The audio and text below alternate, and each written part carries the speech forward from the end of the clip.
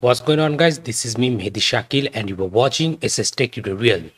So guys in this quick video I'm gonna show you that how you can flash the momentum firmware in your Flipper Zero.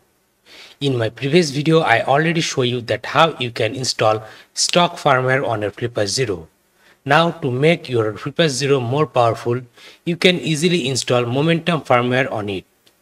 So let me show you how you can install the Momentum firmware into your Flipper Zero within just a few clicks. So first of all, if I open my QFlipper, and here you can see right now I have the stock firmware of Flipper Zero installed on my Flipper Zero. Now I'm going to flash the Momentum firmware on this Flipper Zero. So first of all, I need to close the QFlipper. Then open up your browser and search on Google Momentum Firmware. Then go to this first link. Then scroll down. Click on this install link. Then web updater. Then click on open the web updater. It will redirect you to this page and here you can see it automatically detect my Flipper Zero.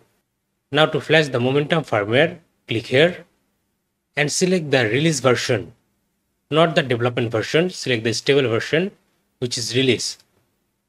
Then click on flash. Now it should take some time to download the firmware bundle and flash it to your Flipper Zero. Here you can see it's loading the firmware files firmware.dfu. So it's gonna take some time you have to wait until the flashing get completed.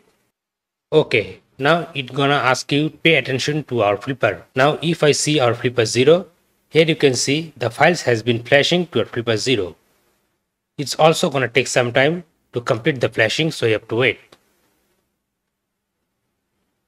Okay so guys flashing has been completed.